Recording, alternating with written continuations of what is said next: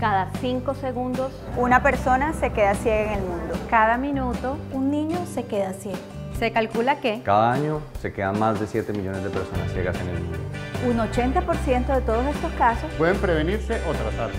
El derecho a ver puede. y tiene que ser realizable.